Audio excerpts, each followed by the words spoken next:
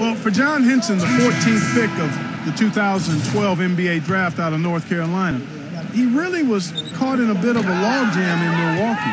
There were a lot of players at his position, the power forward spot, on their roster last season, and that kept him from getting extended minutes. And he gets it to go as they call the foul. He's on his way to the line for one more.